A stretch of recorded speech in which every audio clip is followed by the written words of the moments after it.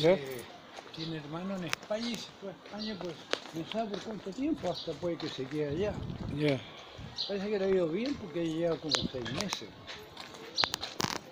Ya. En todo caso, allá es mejor que acá. ¿ah? Ya. Corre más claro, hay más, hay más vida.